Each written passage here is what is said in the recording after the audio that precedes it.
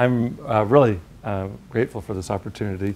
As I mentioned earlier, this material uh, really matters a lot to me. I was actually walking down the hallway up above before coming down and really um, asking for guidance and support in getting this material out. It's not just intellectual material for me, and I hope that it will land in some place that's meaningful for you, no matter where you are with, uh, in your lives, and that's my, that's my aim. So I'll do my best to convey this material um, from, uh, in many ways from what I know by heart, but I'm, I'm, hoping that you'll leave here with a bit more information and also more self-reflection. So um, uh, owing to the medium, we won't have question and answer and dialogue here, and in another context we would. And so we're together in spirit. And e even afterwards, if you want to write notes and we want to talk about this afterwards, I'd be uh, game on for further dialogue. I do have a bibliography that I'll save to the end. And if you have to leave early, I'll find you. I will track you down and give you a bibliography, okay, because there's a, a, lot of resources I'd like to mention. Um, I'm coming off of a little bit of a cold, and so a lot of a bit of a cold, and so periodically I'll be drinking water to keep my throat vital and alive, so excuse that, please. So let me start with a story. I had a recent conversation, it's in, in the last six months, with a, a, um, uh, a woman who was uh, the wife of a minister, and uh, what she was talking, she was talking to a group of people, talking about how it was that she was telling us how she had gotten herself into trouble with alcohol. And uh, it had started innocently enough, it oftentimes, I think most often does, um, where she had had a hard time sleeping. She was stressed out, and so it was her way of taking the edge off and then going into sleep. Um, but in her case, what happened is that uh, it, it, grabbed a hold of her, and she started needing to drink a little bit more and a little bit more to get the same effect. Uh, uh, that's referred to as tolerance. And she developed a biological tolerance to the alcohol. And um, soon enough, she got herself kind of hooked into a cycle of ever escalating need for more and more alcohol to the point that she was quite addicted to it. And, and we'll talk more about addiction today. But uh, how I mean that right now is that she needed more and actually required it biologically in order to. Uh, it started off being able to sleep, and pretty soon it began to be able to manage her emotions, to be able to relax. And so she found herself drinking through the day. So the story that she shared was that she was talking to her husband, the pastor, and said to her husband uh, with heavy heart, um, I am, honey, I am such a loser. Uh, and his response was meaning to be compassionate. He said, oh, oh, my darling, you're not a loser, you're an alcoholic. To which she responded, I would so much rather be a loser than an alcoholic. and our topic today is to address some of what is behind that response. Um, we'll be talking about shame and stigma, and I'm going to just uh, ask you to kind of hold that story in mind why someone would prefer to be referred to as a loser, which is surely no compliment as compared with the alternative, which would be to bear the shame and stigma, and we'll be unpacking both those terms that are attached to being addicted to anything, uh, including alcohol. So that's our kind of that sets the tone for our conversation today. Some of you are familiar with this material. I'm just going to ask you to kind of ride along with it. There'll be new material along the way. I shared this picture recently in one of our conversations. What is this? It's a, it's a rocking chair, and it's actually, as I mentioned before, it's, it's a child's rocking chair. So you can't tell from this picture, but it's a small rocking chair. And it belongs to my sister uh, Nancy. So I want to tell you another story, again, to kind of ground our conversation into shame and stigma uh, in and around addiction and recovery uh, with a story that precedes any of that. Uh, when I was five years old, my, um, I lived in Fort Worth, Texas, and my mom and dad came home uh, with two gifts, one from me uh, and one from my sister Nancy. She's a year and a half younger than I, so she was just a little bit over three. And uh, she got, she got a, a, rocking chair, and I got a straight back chair that was also a child's straight back chair. I can still picture it. Um, I loved this chair, and that evening set about doing what I think all patriotic American boys do. As I took it apart, stick by stick, and laid it all out very neatly uh, in a pile and uh, proudly went out to get my mom and dad and summoned them in and said, look at, look at my chair. And you can imagine their response, which was somewhere between horror and embarrassment, you know, that I was their child or whatever it was. There was, there was uh, they had a very strong reaction to it. And uh, I still remember that. I still remember that. I can laugh about it now. I don't think I was laughing then. I was punished and, and uh, was shamed. And we'll be talking more about shame as in terms of its definitions, but I think all of us have a sense of that experience.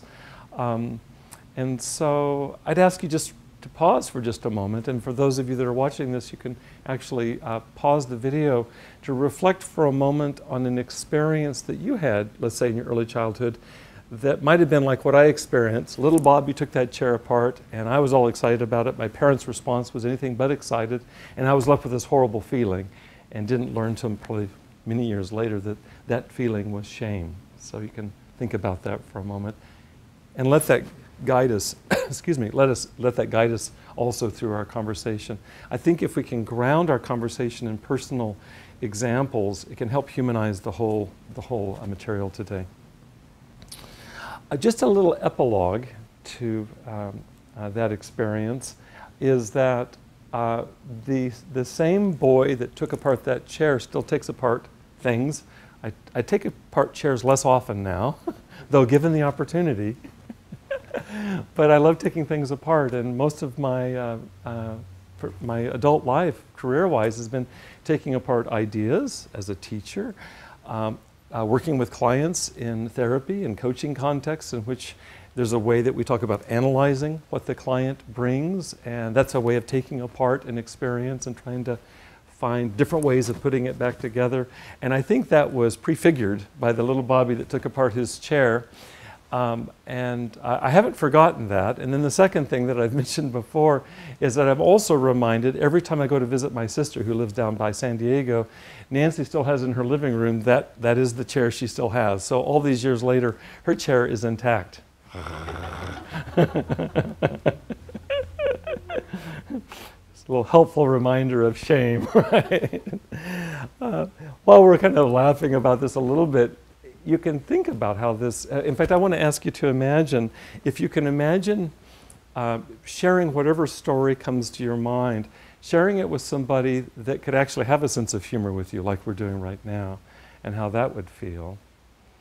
And if you can, in your mind's eye, uh, and for those that are watching, maybe to pause for a second and just imagine, uh, in, by contrast, what it would be like to have somebody respond not in a warm, uh, empathic, uh, even joking kind of way, but somebody that would respond with uh, stern uh, uh criticism, uh, uh, would, would have a negative judgment about whatever it is you thought about.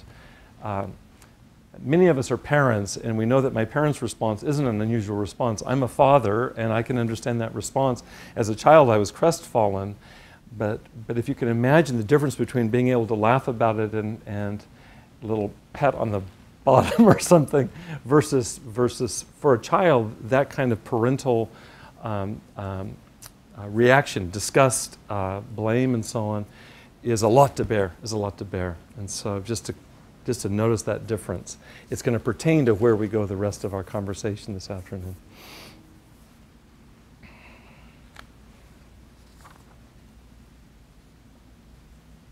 suppose if one of, one of our goals, maybe it's a primary goal today, would be to aim for the former response, the positive facilitative response, whether it's as friends and family or for those uh, that are uh, clinicians or training to be clinicians, that that would be the aim. And I, I, I intend today to provide some tools for managing shame and stigma in and around the topic of addiction and specifically recover from it, recovery from addiction and uh, one of the ways I intend to do that, which I'm going to flesh out in detail here shortly, is looking at how it is that we can take contributions from science, in this case, brain science, how it applies to addiction, and how information can help uh, those that struggle with shame and stigma uh, uh, uh move through their, their own uh, blockage, their own resistance, um, their own embarrassment, their own shame and stigma that stand in the way of their recovery. So that's our goal is to is to link together science, which is more of a left brain phenomenon, with the experiences of shame and stigma, which we're going to define here shortly, which are really more right brain, more emotional. And so our, our wish is to combine left and right today. Why is any of this important, uh, or all of this important?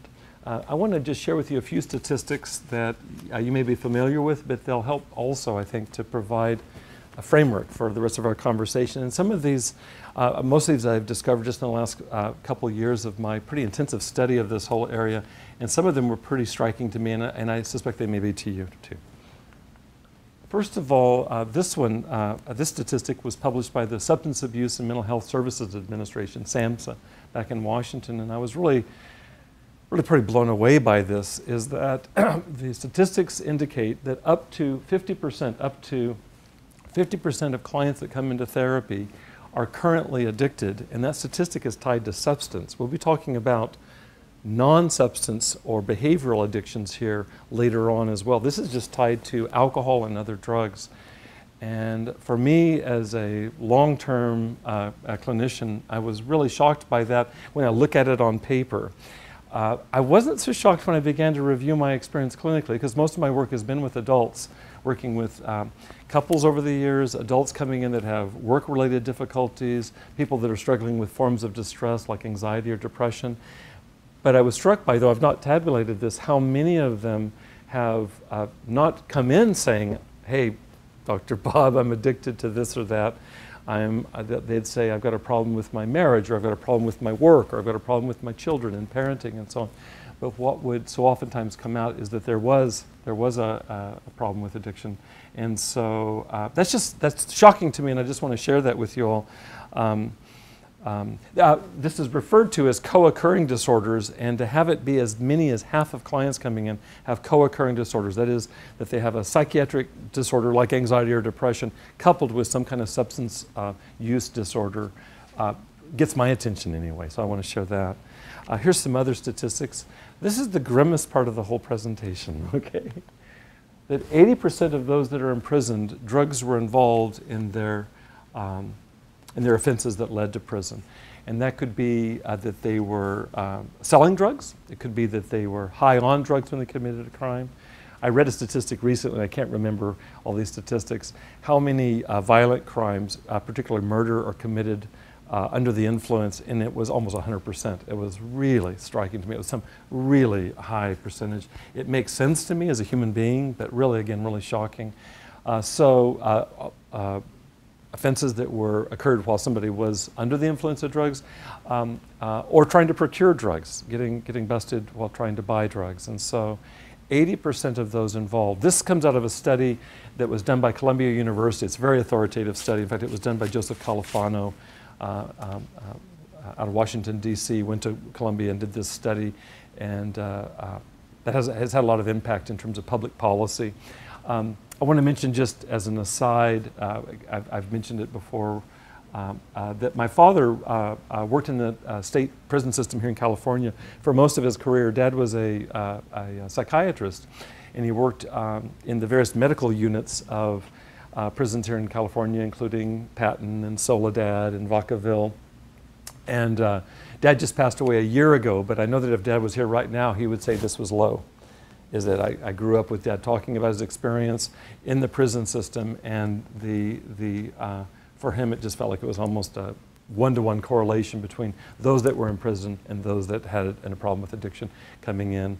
And, uh, and, and then the psychiatric problems that arise when you take somebody off of the, the drug that they've been on, uh, that, was the, that was the population dad dealt with. So um, um, another piece of that, that drugs are just uh, almost universal in terms of our prison population.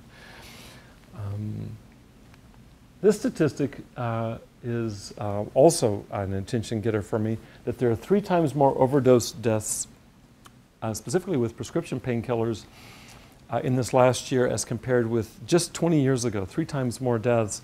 Another piece that I, I just read in the last few weeks the, uh, uh, Cal Southern is in Orange County, and Orange County is the, the uh, number two state in the country in terms of prescription painkiller overdose deaths. So we're number two in the whole country, which is, uh, really puts it front and center, doesn't it? It's like it's right here at home. Um, uh, this statistic is from the Center for Disease Control out of Atlanta, and when it's at this level, they describe it as a national epidemic. It's really an epidemic, like, like any uh, communicable disease. A few more statistics. Um, this one comes from um, the National Institute of Drug Abuse, again out of Washington, that one out of 10 adults is currently addicted. And I included that parenthetical statement there in the middle just because it's painful to me, is that in their statistics they include anybody age 12 or older. Um, that gives you an indication of how rampant drug abuse is down into the early teens.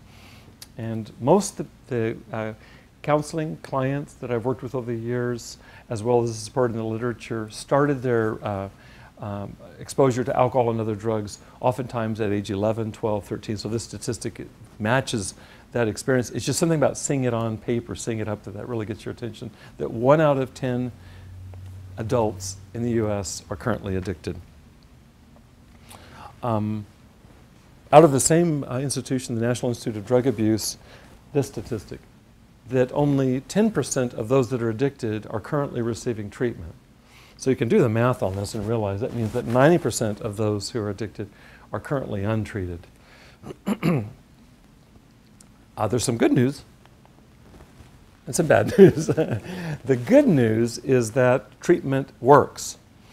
Uh, the National Institute of Drug Abuse is, is kind of the clearinghouse nationally for all the research that's, that's being done in terms of all kinds of different approaches to uh, uh, treating substance abuse and uh, recently published a meta-analysis, which is a, um, it's where you corral every study together and do a statistical analysis on what works.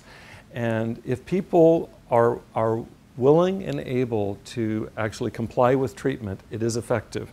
And uh, there are various forms that that takes, but what's clear is that sustained treatment does impact uh, uh, drug abuse and that there is success with treating addiction. Uh, uh, that's the good news. The bad news is that 90%, that statistic I just, 90%, 90% of those addicted are untreated, and so it's kind of a moot issue for 90% of people. The 10% that are able to stick with treatment, it, it, we'll talk more about relapse in a few minutes. It really requires sticking with it because it's a chronic illness. If you stick with it, you can have success with it, but it requires sticking with it. 90% are untreated uh, at all right now. And this is, this is where statistics like that, that piece about prescription painkillers uh, comes home for me, is that without treatment, uh, you either end up in prison, 80% of those in prison are there because of drugs, uh, or you die. It's, it's, uh, it's so oftentimes progressive and eventually fatal with alcohol and other drugs. And uh, for sure, uh, just spoke recently to a psychiatrist locally that works with uh, teens in Orange County, and he's, he told me that, that there are many more deaths uh, in, the, in the adolescent range to prescription painkillers than are published. Families don't want this stuff published, and I don't know how that all goes in terms of getting publicity. Who, who really wants to know this? But that is, it's underreported even in the press is that it's uh, be because of his involvement in a local hospital, there are uh, a handful of, of local kids that die every week owing to just prescription painkiller overdoses. And so they, we not only die, but we die way too young. And that's, that's the, it's all the more reason for this conversation, okay, which is to look at what gets in the way of this 90% getting treatment, because if they don't get treatment, we now know the grim probabilities. Uh, in psychology, we refer to these uh, impediments as barriers, barriers to treatment. And the two most significant barriers to treatment for addiction, from a psychological perspective, are shame and stigma, which we're going to be looking at today. I, I recently did a Google search for barriers to addiction treatment, and I, and I put in shame and stigma. That was my, that was my uh, study. And I had 2.5 million results. So if you have any question about the literature out there to support the fact that this is uh, uh, a major problem, uh, uh, there's a lot of resources available. And it's just to suggest to back it up with a really cursory study that uh, it makes good sense that we pay some attention to these barriers of treatment because, um, well, let me say, let me, let me bridge that 2.5 million to the fact that if an individual is, is struggling with addiction and they are sunk by feelings of shame and or stigma, they won't go into treatment or they won't sustain it. So there's the problem, is that you want, the, the addict ultimately has to take responsibility for his or her, her behavior. And, and it's when we're sunk, and we'll be talking about the biology of this in a few minutes, if we're sunk by those feelings, those are the very things that hijack the brain and paralyze our incentive, our motivation. And so uh, we, don't, we don't stick in treatment or we don't engage in treatment. So it's next to impossible to take responsibility when you're buried by shame. That's the bottom line. So, so I'm going to talk for a few minutes about what is shame. I'm going to pause here momentarily, and if you're watching this online, I'd like you to pause for uh, uh, maybe a couple minutes and just write down how, how do you define shame in a sentence or two? You know, what is shame? We won't be doing that live, but I'd like you to do it if you're watching this, because um, we all have a sense of this. Like when I gave you the example of little Bobby with the chair, it isn't like we go, mm, what's that all about? It's universal.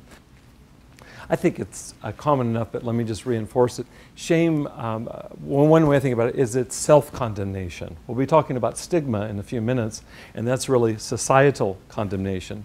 But shame is self condemnation, and it's not for what we do. That's oftentimes understood as guilt. If I do something bad uh, and I have this feeling inside, and it's about what I did, that's really guilt, properly understood. Shame is something deeper, more profound, and has more, um, um, uh, more negative impact. Shame has to do with not what I did, but who I am. It has something to do with, with who I fundamentally am. I'll give you some examples. Attitudes that, that are evoked by shame include I am bad, I'm somehow defective, I am weak. I know this growing up as a, as a boy, being socialized as a boy in our culture, there's certain feelings that it's okay for a boy to have and certain feelings not to have. And to have those feelings, for example, sadness or fear is seen as weakness. And so there's shame that attends even having those feelings, which are universal feelings. There are also some beliefs uh, that, that go with shame, and those include um, in, the, in, in any case, but we'll be talking about addiction, is that I brought this on myself and I'm the one to blame. There's only me to blame. That would be an example of a shaming attitude, is that I brought this on myself. There's only me to blame. And we'll talk more about this. It'll make a lot more sense why that's problematic when we get into talking about addiction and what happens in the brain around addiction. I do want to make a distinction between toxic shame which is shame about who we are, and I believe healthy guilt, which is about, what, uh, about our behavior, about what we've done. And so I want to share a couple stories with you. I don't know if any of you have read The Little Prince. I read The Little Prince in my uh, freshman year in college some days ago. and this is the cover of that book.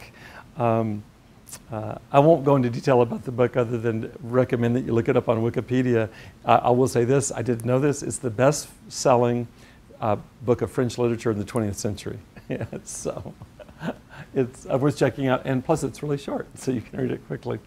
It's one of these uh, children's books for adults. That's how I think about it. Uh, I, want to, I want to just read you a brief segment out of The Little Prince.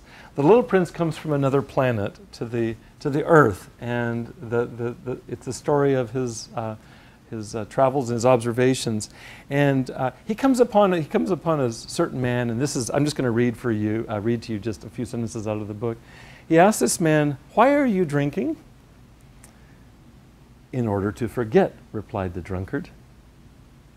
To forget what? Inquired the little prince, who was already feeling sorry for him. To forget that I am ashamed the drunkard confessed, hanging his head. Ashamed of what? asked the little prince, who wanted to help him. Ashamed of drinking, concluded the drunkard, withdrawing into total silence. And the little prince went away, puzzled. Grown ups really are very, very odd, he said to himself as he continued his journey. Uh, just as in the story of the little prince, one of the components of shame is that it makes us withdraw into total silence. And so when we talk about shame and somebody getting help for shame, uh, excuse me, addiction and somebody getting help for addiction, shame goes in the opposite direction. It pulls me into silence. The last thing I want to do is open myself up to you. And so therein lies the rub around shame and recovery. There's a second kind of shame, but I'd rather actually refer to this as healthy guilt. I'm going to read you a little segment of a story by uh, a Native American, and he uses the term shame here, and I think I'm just going to ask for us to translate that as guilt because I think it really applies to our idea of healthy guilt.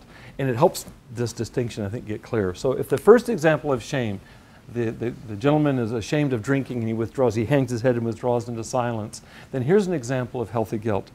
This is uh, from this book by Scott Momaday, who's a Native American, and it's from his, uh, he won the Pulitzer Prize uh, for this, The Way to Rainy Mountain. And again, it's very brief, just a, just a brief paragraph. Once there was a man who owned a fine hunting horse. It was black and fast and afraid of nothing. When it was turned upon an enemy, it charged in a straight line and struck at full speed. Can you picture that? the man need, need have no hand upon the rein, even. But you know, that man knew fear. Once during a charge, he turned that animal from its course. That was a bad thing. The hunting horse died of shame. The hunting horse died of shame. That's the story. And why I bring it in here is that all of us can relate to this. You can relate to this in your own life. Is that we, when we turn from the right course for ourselves, in this case it's symbolized by the horse, but when we turn from our own right course, healthy guilt comes in to scold us. In the story, it literally killed the horse, and that's the symbolism. And there's a way that our deepest self comes in to remind us when we're off course and I think of that as a very helpful, almost like a thermostat or something. And we're going to call that healthy guilt, and to make that distinction here. in, in treatment for uh, addiction, one of the, the uh, most commonly employed approaches is referred to as motivational interviewing. And this next sentence is the only thing I'm going to say about motivational interviewing today. It's a whole literature out there. motivational interviewing actually began as an intervention for substance abuse. But the idea of motivational interviewing is to clarify this distinction that I just shared the distinction between toxic shame, which wants to shut down healing, and healthy guilt, which wants to open up healing. And a skillful motivational interviewer, which would be to say a skillful counselor or even a skillful friend, is, is, is able to help facilitate the latter, healthy guilt, which motivates us to change. It scolds us. And, and also doesn't add to the toxic shame which paralyzes us. So that's really one of the goals of any effective treatment. So if that's about shame, let's talk about stigma for just a few moments. Stigma. Okay, same question. I want to ask you to think about what you associate to with stigma for just a moment. And those that are watching, to have you pause for a moment and write down maybe your one, one or two sentence definition of stigma. We've all been exposed to that term. It's less commonly known than probably shame, but I think we all have associations to stigma. I talked earlier about self condemnation, and, and I kind of showed you my cards on this one, is that stigma is really societal condemnation. This is where the individual is condemned or discredited by society for what he or she has done. That's stigma. There's an interesting piece here is that in the shame literature in psychology, more recently the term for shame has come to be self stigmatization. It's a mouthful. I prefer to say shame because I can pronounce it. But but you get, you get the idea there is that self stigmatization is the idea that I internalize what society says about what I did and I turn that towards myself, and that, and that would be, that, that'd be another way to understand the dynamic of shame. With stigma, it, uh, uh, the very foundation of who we are is, is, is uh, the, the rug is pulled on that, and so we're thrown off balance. Um, it's almost impossible to feel good about yourself if you question whether you have any right to feel that way. And if society constantly mirrors back to you that you're defective or something's broken about you or something's wrong about you or that you did something blameworthy, it's very hard to get, get a, a foundation for feeling, uh, feeling positive about yourself. Attitudes, uh, stig- stigmatizing attitudes are like this. Those people are bad. Those people are defective. Those people are weak what we talked about earlier in terms of shame pointed towards myself, if I have a stigmatizing attitude, then it's, a, it's, it's you, it's them that are bad, defective, or weak. And the idea here, the belief here is that they brought this on themselves, they should pay for it. Um, this probably ties into our 80% statistic earlier, but I'm not going to go on a political diatribe right now. But the idea that, that what we do in our country is that we penalize and we incarcerate those that are addicted. And, uh, and, it's, and it's understandable in some ways. I don't mean to throw that out. But as we begin to talk in the next few minutes about the science of addiction and understand what goes on in the brain, it's going to raise some interesting questions about some of those uh, knee-jerk reflexes that, that are uh, really rampant in our society. Oh, I wish I could remember statistics better than I can. It's something like this, that our population in the world is, we're 5 or 10% of the world population, and we consume 60 or 70% of all substances. It's, it's just crazy how we have a cultural problem around it. And if you can see for just a minute the duplicity or the, the hypocrisy of that is that we're the most judgmental on the, on the planet as well. We have a higher rate of incarceration by far than any other society on the planet. Most of, our, most of those that are incarcerated are, are um, addicted and, and, uh, and we consume way more than our proportion. So interesting things to think about, okay? I think one of my key points today is that, that what do you do about shame and stigma? And I'm an educator, and I want to I want to make a plea here for good information. I think that good, solid information may be our first uh, inroad uh, uh, to overcome the shame and stigma that paralyzes treatment for addiction and uh, and keeps people from moving into recovery. So the information I'll be specifically focusing on is addiction in the brain. Again, as I mentioned before, where we bring in left brain information, I think it can help to apply to confusing behaviors and emotions, and my wish is to com combine uh, some look at the left and the right brain. I want to talk a little bit personally for just a moment about the last couple years of, for me, particularly intensive study uh, in addiction. I've worked in this area for about the last dozen years, but the last two years are the most concentrated study that I've done. Um, uh, specifically into studying uh, the neuroscience of addiction, which is just a fancy way of saying what goes on in the brain, in the nervous system, in and around uh, addiction, substance abuse, drugs, alcohol, and so on. Uh, when you look at, when you look into the literature of addiction in the brain, there's no question that, it, that addiction is seen as a brain disease. And I think there's other ways that are useful to look at addiction. I don't want to throw out the other ways. For example, the 12 step programs will focus on the spiritual dimensions of addiction. I think those are just as relevant. It's just that from a biological and a research perspective, this, the, the work that's been done on, the, on addiction in the brain uh, makes no bones about it that, that, it, that, it, that it's a brain disease. Um, I'll tell you this the further I've gone in my studies, the more and more compassion and the less and less judgment I have felt for those that are in recovery. And I, that kind of surprised me. I wasn't expecting that. How can you be studying science and find your emotional reaction to people changing almost by the day? And literally, it's that way. I have an even uh, uh, uh, uh more private confession to make is that, that what it brought up for me, because I've done a fair bit of counseling over the years uh, in and around addiction, it brought up for me my own subtle prejudices and biases that I was not aware of because I, they were subtle enough that I missed them. But the further I studied into addiction in the brain, I began to realize that that's what was coming up for me, is that uh, deep down inside Bob Weathers were some judgmental attitudes towards addiction that needed rooting out. And again, ironically and surprisingly, I wasn't banking on it. It was studying science that helped do that. That's really the motivation behind today's conversation, is to look at how it is that this information, if we can understand it in a basic, really accessible way, does it have the possibility of changing our own attitudes? Does it have the possibility of changing those shame, those self-shaming attitudes of those that are in need of recovery?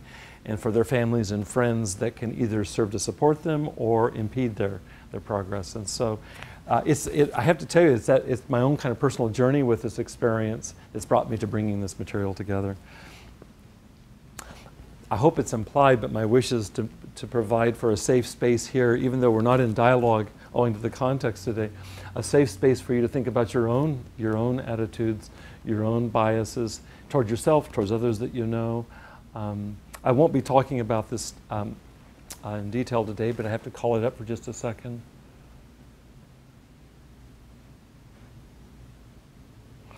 There was a recent study that uh, looked at the prevalence of addiction and how it affects families. And I'm going to quote this, and you guys go easy on the actual number, but it's something like this it's 70% of us have addiction in our immediate families. 70% of us have addiction in our immediate families. And I'm off, if I'm off by that, it's 10% one way or the other. okay, so the 10% room for error there. Uh, so that's the first statistic is to say that, that we all have this close enough to us. And if you've been spared to have this in yourself or in your immediate family, then you don't have to go very far in terms of friends that have been impacted by this. I just finished teaching a course on substance abuse treatment at a, at a, a sister university here um, locally, and every student in class in this class, these are marriage and family therapy students, every student had been touched directly by addiction, most of them by parents, brothers, sisters, and so on, and, and, and uh, really tragically, really tragically. So it's to universalize that. There's another piece in this same study is that you go back and, this was a Harris poll, if you go back and look at that same population, is that 70% of us in the United States, 70% of us recognize that there's such severe stigma around addiction that we don't talk to anybody about it. So if 70% of us walk around with addiction in our families, and if you go to that same population, 70% of us don't dare talk about it because that's how pronounced, that's how negative the stigma is. That's also another piece. I haven't included that in this study. That's hot off the press, but that's that, that's that's like how can how can we how can we make a difference? And I I think this is a presentation to to therapists in training is one of the populations, but there'll be others that watch this. Every one of us has family members, every one of us has friends. We have it in ourselves. And how can we find some way to find a different relationship to addiction that extends more compassion and more hope and helps to destigmatize it and, and to weaken the shame that, as John Bradshaw says, binds us to, uh, to the spiral, the downward spiral. So, a safe place here.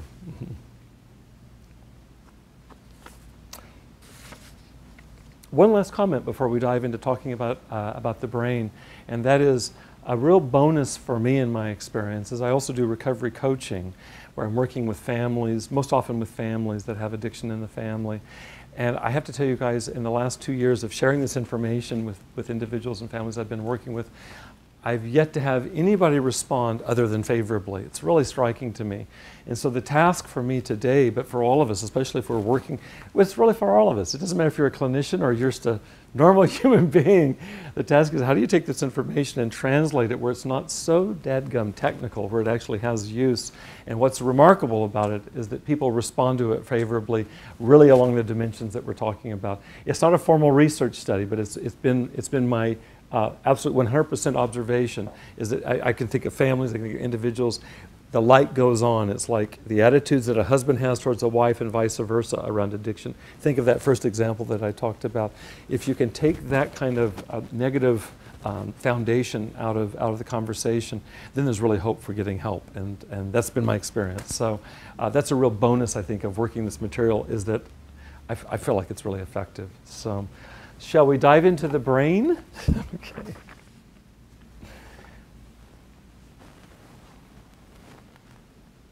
I'm going to come back to that. I have to say this is that this is a very brief overview of addiction in the brain. Um, I just taught a seven week class where this was part of what we did, and that was a brief introduction. and so you could, you could obviously have a full on semester of this and just scratch the surface. Uh, I have a, a, a, bibliography. I want to mention this for those that are watching this is that if you write to me here at Cal Southern, I'll send you a bibliography that is, that is I'll just pull it up here. It's three pages of really tiny print. the bibliography and that just scratches the surface. But while I'm thinking of it, I'll say this. What I've done is I've put in bold the, the dozen references, most of them are books, that are the most accessible so that anybody can read them, including a layperson, a client, any, any client could read them, and have been the most helpful, I think, in addressing this. I'm really standing on the shoulders of this reading, and so very happy to give, uh, give this uh, resource to you all. so in that spirit, with that caveat, which this is a very brief overview, um, Let's dive in. First, first uh, comment here that all addictions involve the same brain circuits and the same brain chemicals. This is from the American Society of Addiction Medicine. Let me just say a word about this. You recall how we talked earlier about how one out, one out of 10 adults is currently addicted to substances. Well, here's another statistic, and it's going to tie into what I just, this comment here. All addictions, this isn't just drug addictions, this will be all, all, uh, all addictions, including behavioral addictions, which I'll be specifying in two minutes. They all involve the same brain circuits. so if one out of 10 adults are addicted to substance, 90% of us have non drug behavioral addictions across our lifetime. So let me talk about what non drug behavioral addictions might include. In addition to alcohol and other drugs, um, nicotine and caffeine, those are all chemicals. If we take all those off, off the, uh, off the uh, table for right now, the list is endless in terms of behavioral addictions. These are, by the way, sometimes referred to as process addictions. I'll be speaking in the fall at a conference in Las Vegas that's all about process addictions. But remember, whether you're talking about addiction to a substance or to a behavior, it's the same brain circuitry. And as we talk about this in a few moments about some of the systems involved, uh, you'll see that. So, what are some examples of uh, behavioral addictions? Uh, we can be addicted to food, especially carbohydrates, gets a lot of attention. We can be addicted to compulsive sex. These are the most common behavioral addictions I'm mentioning. We can be addicted to gambling and its compulsive draw. We can be addicted to spending, shopping, compulsive spending.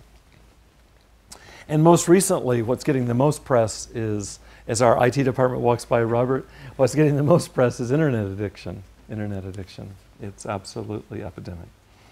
So, what makes for any of these things being addicted? This is the Bob Weathers definition of, of addiction in a minute.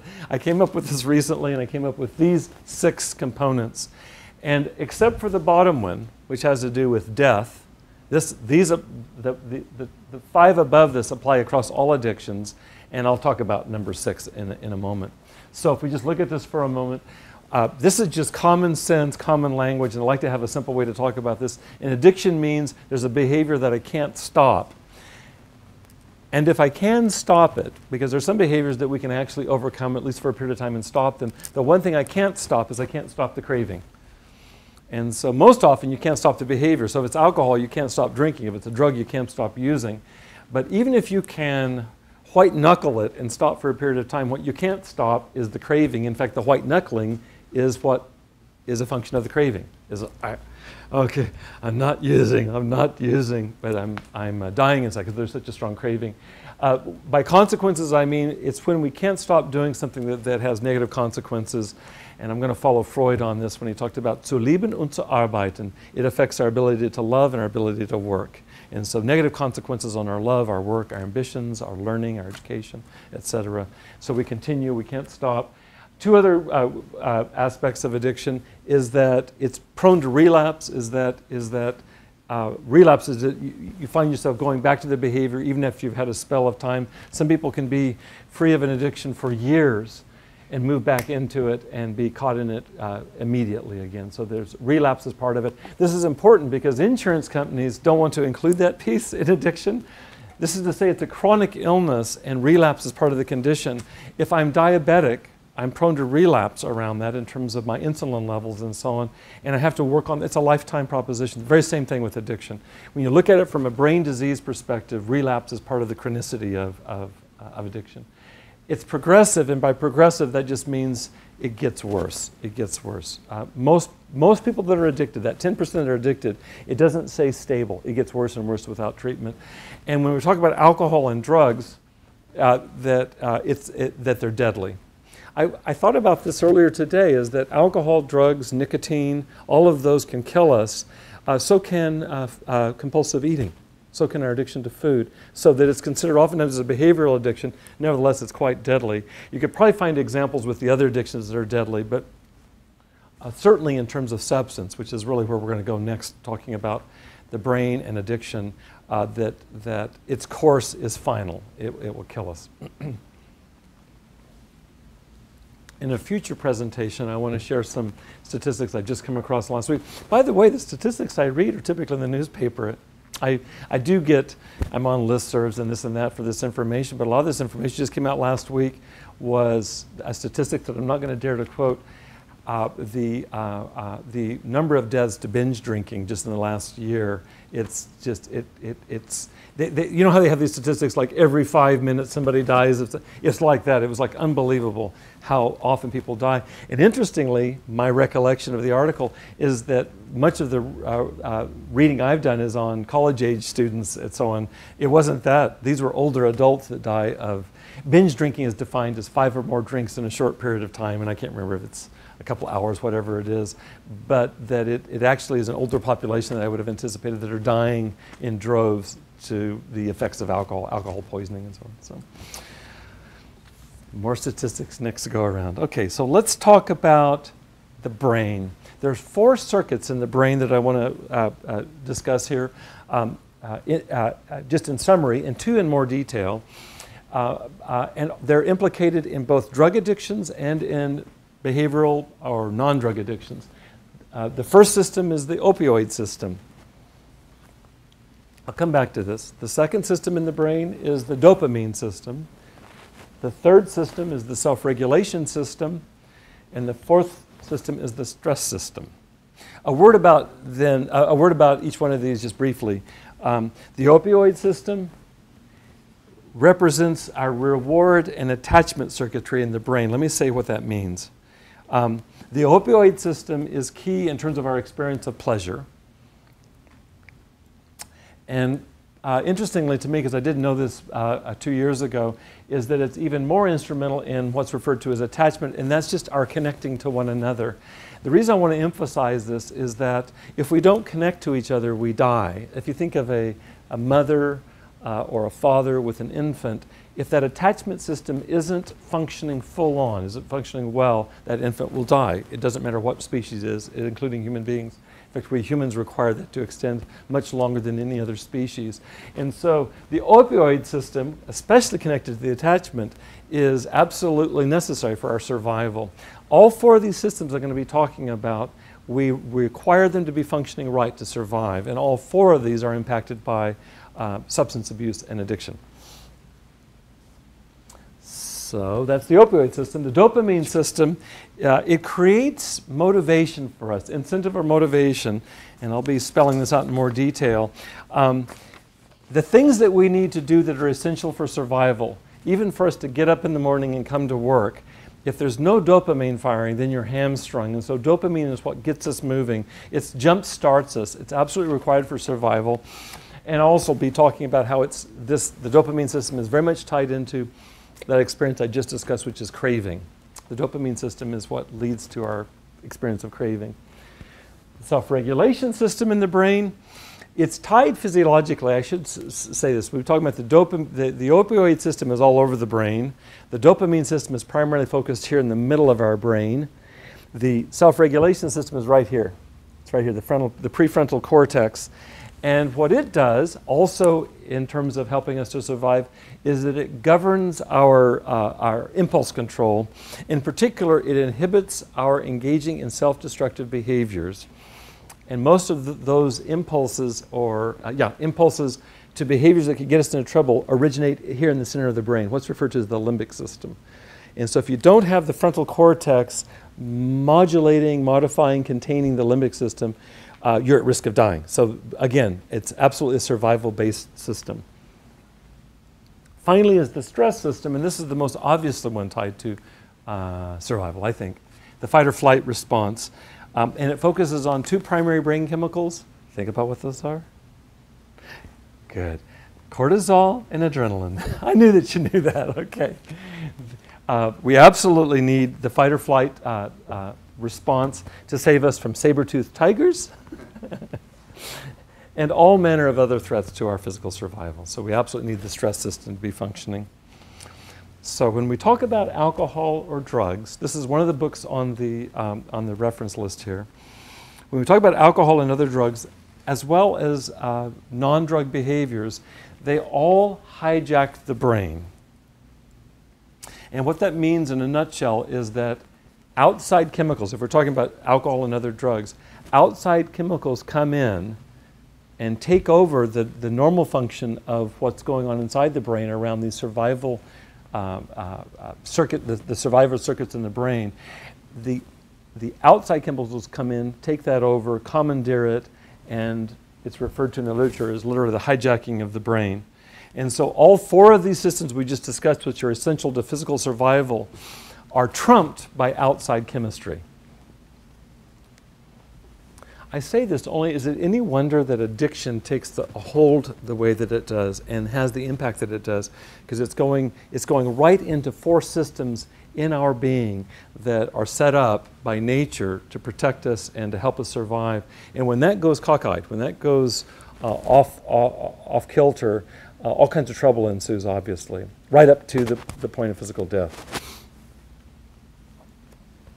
Owing to time today, I want to focus on just the first two systems. So let's go back to the opioid system, which I said is related to reward and attachment. The defining molecules of the opioid system are endorphins. And so pause for a second and think about what your associations are to endorphins. All of us know something about endorphins. We have a bodybuilder in our presence here who knows a lot about endorphins. We have a marathon runner on our staff here who knows a lot about endorphins, but all of us have some association to endorphins. Uh, endorphins, it actually comes from endogenous morphine. That was the, that's the root of what an endorphin is, endogenous morphine. And that gives you a clue of how they function. Uh, endorphins are inside of our bodies, they're endogenous, and they function just like morphine, heroin, Oxycontin, other drugs that we take up from the, the outside. And by saying they function the same, they go into the same brain circuitry, they go into the same brain receptors, and whether it's exogenous drugs or endogenous morphine or endorphins, they help us do a couple things. One is they help us to soothe physical pain, and secondly, they help us to modify and or soothe emotional pain. That's what they do. So whether it's endorphins or heroin, they both have that same function. Um, endorphins are also the catalyst for our day-to-day moods how I'm doing today requires for my endorphins to be firing at some kind of level. And all of us know what it's like to get into a blue mood. And some part of that, not all of it, but some part of that has to do with endorphin supply in the brain. The piece that I didn't know before I began doing this research is that most crucially, endorphins are, um, are at the center of what I referred to earlier as the bonding between, I'm going to say, mother and infant. They're absolutely central to that. Both mothers and infants experience an influx of endorphins in the connection uh, with, with, their, with their, their infant. Um, uh, you can imagine just the practical thing, the, the practical implication of that is that, as I mentioned earlier, the mother needs to be able to bond significantly to be there to, to feed and protect and, and, and uh, support the infant's growth. And endorphins are the, are, are the chemical link of how that happens. Um, I can just tell you a quick story. All of us in this room know Jessica, uh, who's been out for a while on, on, it's called maternal leave? Maternal leave, that's it, maternal leave. It's actually a whole family leave because her husband's also been home. Um, I went to visit, uh, Jessica had a baby uh, a few months back. I went to visit Jessica and met Grant. I walked into the house and there was Grant, and uh, they handed Grant to me, and I held Grant for, and I loved it. It's the first time I've held a baby that long since my own daughter was that age, which is a few years back. It was really touching to me, and I loved Jessica, and it was wonderful, my own bonding with Grant. But there came a time, there came a time where it was time for Grant to feed, and also I think to connect, to connect with Jessica. And so, whatever I'm talking about in terms of endorphins and so on, you don't need theory. All you have to do is just watch a mother and infant. And as they came together, I actually went upstairs with Jessica and Grant, and we talked about it for a few minutes, what the experience was like for her. She was basically describing the interiority, the, the, the uh, inner experience of what's going on that biologists would look at from the outside in terms of endorphins is very touching to me. It was very obvious, very palpable. I think also related to this business of bonding um, around endorphins is that the joy that I saw with Jessica and Grant is the joy that all of us experience, whether we're parents or not. Um, it, uh, endorphins are the chemical mediator of our experience of ecstatic joy. It's referred to psych in psychology typically as euphoria. Our experiences of euphoria are directly connected to our, uh, our, our influx of endorphins. The higher the endorphin level, the greater the subjective experience of joy. So let me tell you a quick story.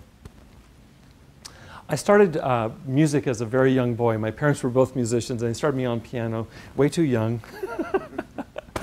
and I was decent at playing piano, but I hated it. I wanted to be out in the playground beating up other boys, you know, soccer and that kind of thing. And uh, I, I, lived in Southern Oregon in those early days of playing piano, and I can still remember what it was like to sit on a cold piano bench and practice. I didn't like it much.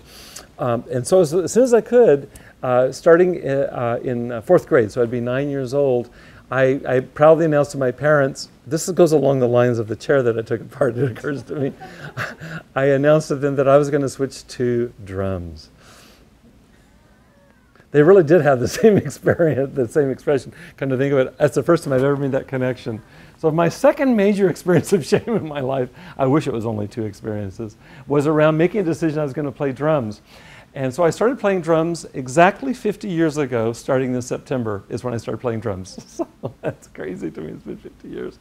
And I've been passionate about drums uh, ever since then. It's really a mainstay for me. I'm actually working today on setting up another musical opportunity coming up in the next few weeks, playing drums with, with uh, some people here locally. In fact, it may happen tonight. Uh, I didn't have any way to analyze this as a kid, but I know that my initial experiences something I could always count on to, to evoke a sense of joy for me was drumming. Um, it was just a mainstay. I, I played drums all the time. It was just, it was, uh, between music and sports, those were the two things that I experienced the most joy with. There was enough joy that I played drums all the way through high school, and I played in rock and roll bands, and I'd play in bands with people that were doing drugs and taking alcohol. I hope that's okay to say. That's the truth. That's what it was. It always seemed redundant to me why would I do that when I just get so high off of drumming? And so, for whatever reason, I made it through high school. I'd never had any alcohol or any other substance through high school. It was only after high school that I went on a trip. I got a chance to go on a trip to Europe right after high school, for which I was very grateful. And I was, I was uh, on the ferry going from, from Dover across the English Channel to Calais. And there I was sitting by myself, and there was this opportunity. I thought, you know what? I'm going to order myself a drink. and so I ordered a lemon shandy. What's funny about this is now I notice that there are signs on the freeways advertising there's some lemon shandy drink. I never knew it even existed in the United States, and now I see it.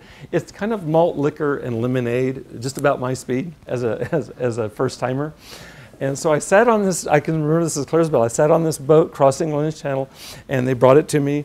And uh, in good English style, there was no ice. And in good naive style, I drank the whole thing, like this, drank the whole thing. And within about five minutes, this is what I thought to myself, and this is literally the case. I thought to myself, that's amazing. You can drink drumming in a bottle. That was exactly the truth. That's exactly the experience. That was my first experience. I'd never had an experience quite like that. It's like the experience I have with drumming, I just drink it. There's good news and bad news of that story, and most of which I'll spare you, but I do want to use that as an example, and you all can think about this in terms of your own experience.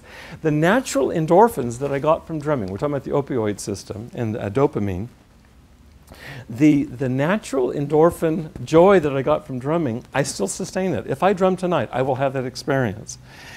I got the same thing because the alcohol chemically stimulated the same opioid circuitry in the brain as the drumming did with endorphins. Does that make sense?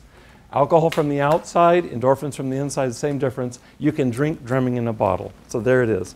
Now there's some bad news, and I'm going to spare you the personal bad news, but there's some bad news with this, is that in study after study, and I've only discovered this in the last couple of years, in study after study of addicts, their normal baseline level for what I just described in terms of joy, and it's tied into the opioid receptors, the receptor sites in the brain, the normal baseline is found consistently to be significantly diminished across the brain. Uh, and this diminishment is directly correlated with the increased need then for whatever the substance is. Let's say that it's alcohol. If I've got this depressed, I can't access joy, and the only way that I can access is it through alcohol. You better believe that that's going to be mighty tempting for me to do that.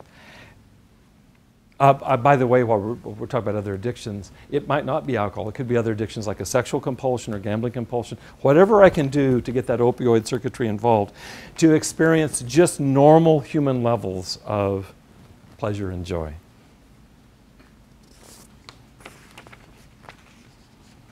Let me say just a word about that before we move to dopamine, and that is that, that what happens in the brain is that, let's say that I chose to just keep drinking lemon shandies. What happens is that the brain resets itself to uh, it, it, it, wants to it wants to achieve what's referred to as homeostasis, and so it will downwardly move. It will downwardly regulate to where whatever happened naturally, let's, let's use my example. If drumming provides that, but I begin to substitute lemon shandy, is that the brain will, will naturally begin to pare back. It'll actually, what's, what's called neural pruning, it'll begin to prune the receptors for opioids inside. So I need more outside opioids because I don't have them from the inside. And there you go. There you get going in the cycle. And so you end up, when you study addicts and you look at their brains, their opioid receptors are significant, they've been pruned back. And so what does that mean? They need more exogenous endorphins. They need, or, you know, they, they need uh, exogenous opioids to be stimulated. And it can be in behaviors, it can be in, in uh, alcohol and other drugs. And uh, the addicts that I've known over the years and worked with, many of them say, I started off, I started off drinking lemon shandy to get high. And they'll get to a place where it's, no, I do this in order to try to seek feeling normal. And there's different things they mean by that, but the piece I want to focus on right now is that in order to just get that opioid level up just within the range of feeling normal, they want to feel like other people, and it's no longer about partying or getting high. It's just trying to establish some kind of baseline that makes me feel human. Okay, so let's talk for a moment about the dopamine system. We talked about this earlier. It's called the incentive or motivation system. And as we talked about, it's what gets us up in the morning. It's no less important to survival than the opioid system. If the opioid system connects us to one another, remember the example of me with Jessica and her son Grant, the, the incentive or motivation that comes from the dopamine system is what motivates us and gets us moving. Without this, we're, um, we're stuck. We're stuck. The way I think about this is if opioids are almost like the final stage in the reward process. So that when Jessica begins to breastfeed Grant, ah, that feeling for both of them, that's the opioid system. But what moves them towards that final goal of, of, of pleasure and of joy, what moves them in that direction is the dopamine system. So dopamine and opioids are both involved in our, in our whole uh, uh, process of seeking pleasure, seeking reward. As I mentioned earlier, it's the dopamine system that kind of jump starts us.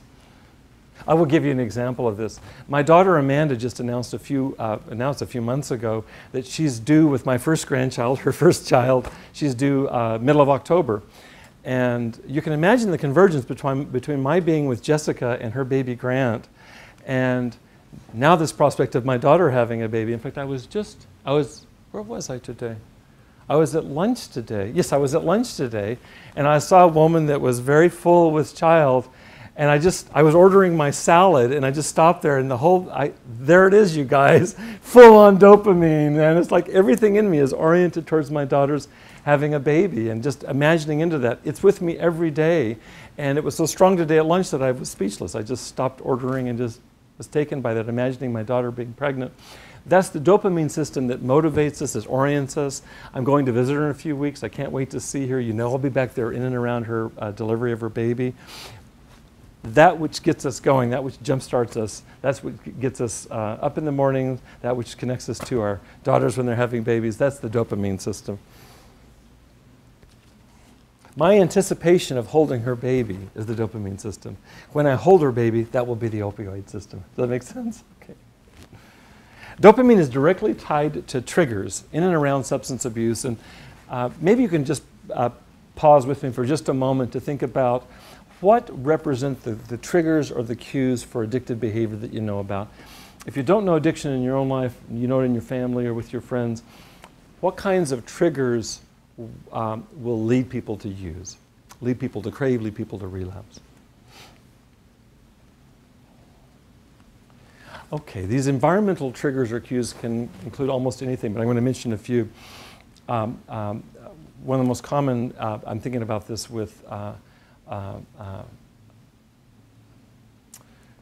various addicted individuals. It'll be, it can include paraphernalia, it can include drug-related paraphernalia, um, uh, seeing a lighter if, if they were smoking something, for certainly seeing, seeing any evidence of a syringe if somebody's an intravenous uh, drug user.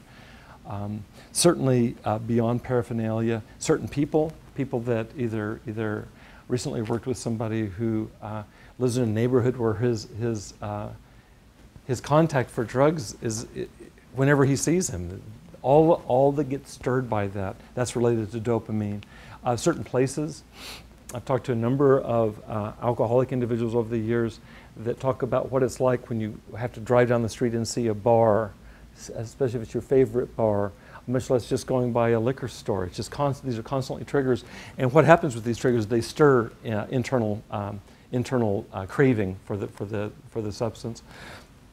The strongest is the one I haven't mentioned yet, and that has to do with stressful cir circumstances, is that stress is most often seen as the number one trigger for uh, uh, drug use. And it can be a relational stress, it can be a job-related stress.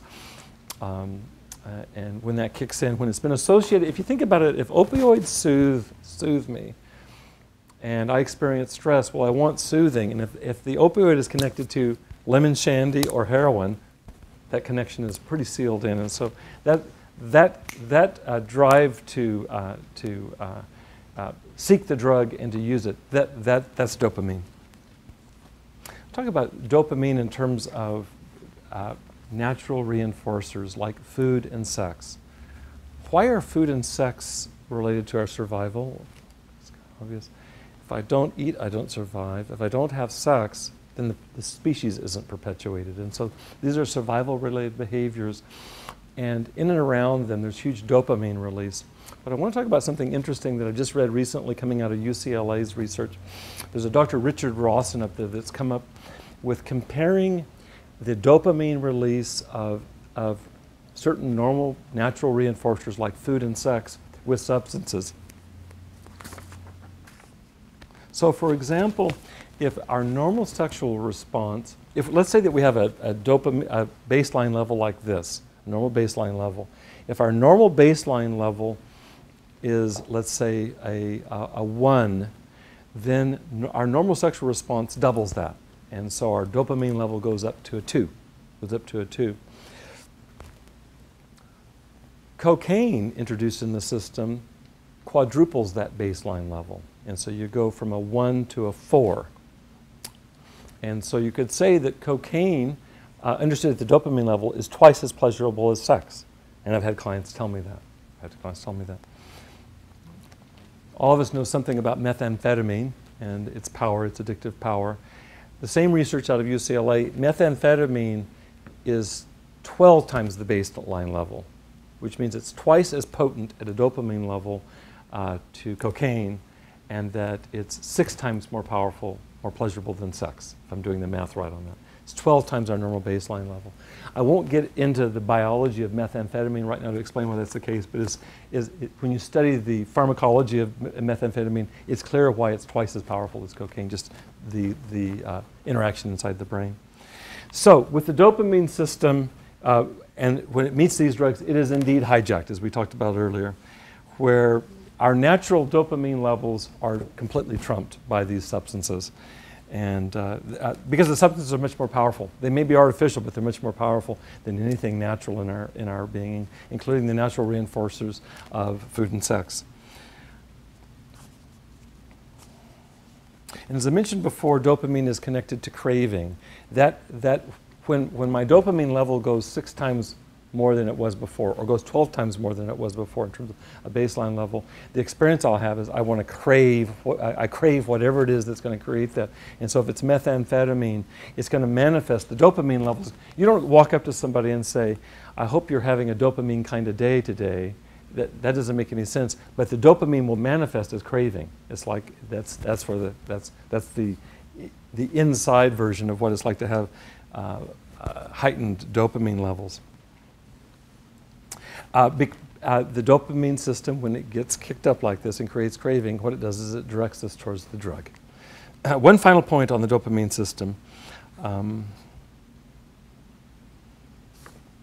this is interesting. This comes out of uh, research in, uh, at the University of Texas, is that uh, research that's been done on, on addicted individuals is that it looks like that for many of them, a large percentage of them, that, that they are born with fewer dopamine receptors just from the very beginning, not as a function of drug use, but just born with that. So there's a genetic, this would be a genetic component to, to being vulnerable. And you can imagine what happens if you're born with a lower dopamine level. It's kind of like what we talked about with opioids, is that you'll do whatever you can to upregulate the dopamine level.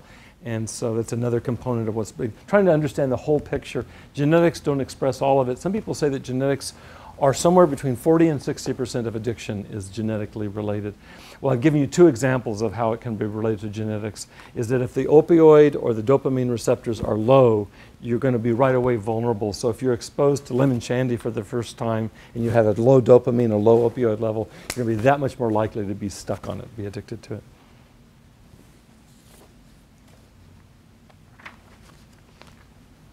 Okay, just a, fi a, a final little uh, um, flourish here. What I want to do is go back to this. We talked earlier about the rocking chair, and we use that as an image of what it's like to be, uh, to, to, to, to deal with shame or to deal with a critical response. What I want to share for the last few minutes here are some common shaming attitudes uh, that we'll all recognize. I put them in the form of questions. I'm going to post them up here on the PowerPoint. And then I want to talk into knowing just what we know today, looking at some of, some of the information about the brain, the four brain systems, and specifically the opioid and dopamine systems, how might we address these shaming or stigmatizing attitudes? Um, if we had a longer period of time, if this was a several hour workshop, we would be working this much more in depth. But this at least gives us a little bit of a sense of how you connect the, the, the, the first points on shame and stigma to the second points on the brain. The, uh, the first message here shaming message is aren't addicts just weak? Why can't they just say no? Before I answer, I want us to pause for a second. And if you're watching this, to, to just pause the video and think, based on just a little bit that we've introduced here, just a few minutes today, how might you respond to this? Aren't addicts just weak? Why can't they just say no? Okay. So what I want to suggest is this, is that any one of us might start off using drugs voluntarily. I started off drinking lemon shandy. That was a choice that I made. But for a certain group of the population, as the drug use continues, that person's brain is radically changed. The person moves from being a, a, uh, a, a, a a moderate user into being a compulsive user. And we talked about how does it the brain is hijacked.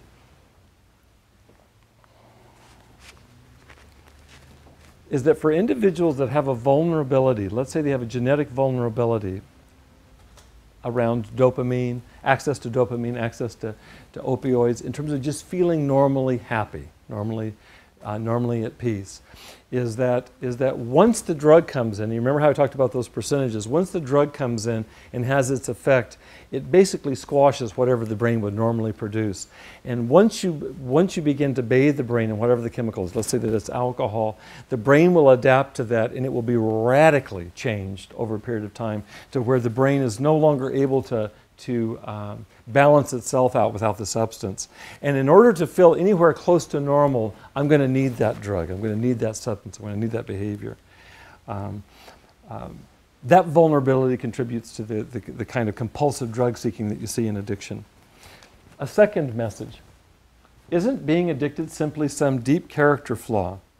For 90% of the population that doesn't get addicted, there's not a problem with this. But for the individual that, that starts with a, with a drink of alcohol or with a hit of pot or with whatever the, whatever the substance would be, that person, the one out of 10 adults that are currently addicted, that person is not going to have uh, a normal biological response. And we talk about character fall. Let me just talk about the chemical cascade that goes on in the brain for an individual that is prone to addiction at a biological level. It doesn't really matter how ethically or morally upright you are that if you've got a vulnerability to addiction for whatever reasons, including genetic, uh, that no matter what your values were before you got the drug, the, the drug has the capacity. Do you remember I talked about the frontal cortex and it, and it, it affects our, among other things, it affects our judgment, including our morality? Is if you have a substance that is 12 times more powerful than the brain's typical way of balancing itself. And that substance can has the capacity to come in and nullify the messages from the frontal cortex. It's basically offline. And so what you have is you're making decisions from this part of the brain, the limbic system in the interior of the brain. And that person will not be making good moral decisions. Um, you can say they've got some deep characterological flaw, it'd be more accurate to say that until that they're abstinent and clear of the drug, they're not going to be able to make good moral decisions. It gets really extreme, you guys. I mentioned earlier about Jessica, who we know, Jessica and Grant, is that, is that if a substance kicks in and it's powerful enough, it can even subvert something as profound as the survival instinct of a mother caring for its infant. And we all know stories or have read stories about that. But that's the rationale for it. How would it be possible for a mother to ignore her infant and in some cases let the infant die, starve, etc., uh, to smoke crack or whatever the other substance would be. We're explaining the mechanism of that right now. The substance has that much power, we're basically the part of our brain that makes decisions. It's not even a decision for most of us, but that part can actually be smothered by the, by the effect of the substance. A third uh, stigmatizing message why can't addicts just be normal? That begs a question about what normal is, but we won't go there for right now. Think about how you feel when something good happens. Anything good happens in your life. Maybe if you're, if you're into sports, your team wins, wins the World Cup. or you're praised for something that you've done well. Those feelings you have are your opioid and dopamine pathways at, at work. And uh, uh, thank goodness that, that, that we have those built into us because those are what move us, uh, motivate us, create ambition within us. The first time that an addict, that is one of those one out of 10 people, the first time an addict uses a substance, that normal response to joy about their team winning or to an accomplishment is completely overwhelmed by the, the, effect, of the effect of the, of the drug. There's no comparison between uh, the, the, first, the first experience and the unnaturally high intensity of, of a substance. The feeling of pleasure, there's no comparison. Remember how I mentioned six times as much, 12 times as much.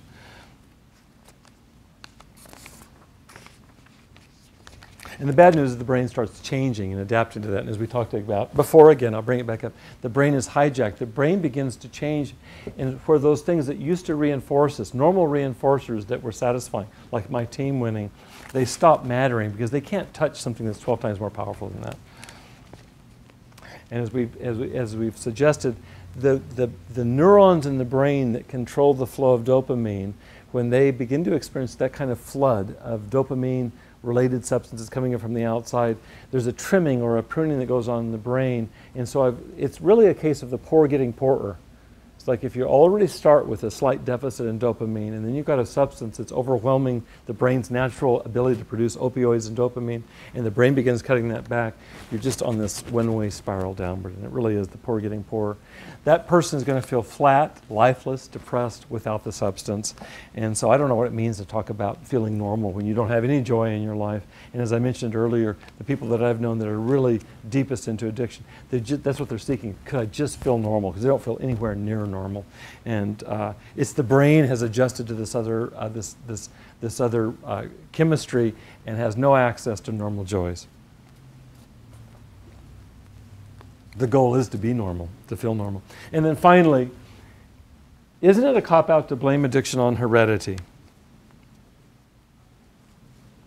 We've already made some pointers in this direction. What do genes have to do with it? We do know more and more about what happens in the brain when any of us ingest a substance, but what we don't know is how many times it's going to take for somebody to take a substance before they get addicted. We talked before about the 10%, the one out of 10 adults who do, do get addicted. A significant portion of those that are addicted are, as we talked about, Uh, uh, uh, incapable of producing enough uh, opioids, enough dopamine from the inside. And there's more and more genetic research to suggest that, as I said, 40 to 60% of addiction may be related to just never having established a decent baseline experience happy, happiness. Most of the addicted individuals I've worked with who are in recovery say I always looked around and I saw that people looked happier than me and I just wanted to be like them. I just never experienced that until I took the substance at the beginning. uh, even a single experience of having that regulated is enough to get somebody hooked. I'll tell you guys a story. Uh, about a dozen years ago, I was working at a local rehab, and there was a young woman. She graduated from high school the, the summer before. She was the valedictorian in her class. She was the, the had the highest grade point average, and was uh, very popular. Was a cheerleader, and and had never touched any substance. She went to a party that summer. Was introduced to, to crystal meth at the party. Experimented with it. Was addicted immediately, and six months later was in a rehab in California. That's that's that's how it can go for somebody. And so, good chance that her biology was such that she had a vulnerability to it. But like I said, you don't have any way to know ahead of time. It's like, you know, it's kind of like Russian roulette. For nine out of 10 people, maybe it wouldn't go that direction. It did that way for her. I'm going to wind up with this last comment then, is that there's a, there's a bit of a paradox at the heart of all of this, and I'm aware of this talking about this material, is that I could be misunderstood as giving an excuse for addiction. It's like, oh, poor addict, you know, they've got a dysfunctional biology or their genes are wrong and so on. And it's tricky because we're trying to root out the, the, the source or the causes of shame, but how do we do that without, um, uh, uh, how do we do that without eliminating some sense of responsibility? So I'm going to uh, include a quote up here by the uh, Swiss psychiatrist Carl Jung, who said this, it may not belong to you, but you're still fully responsible for it.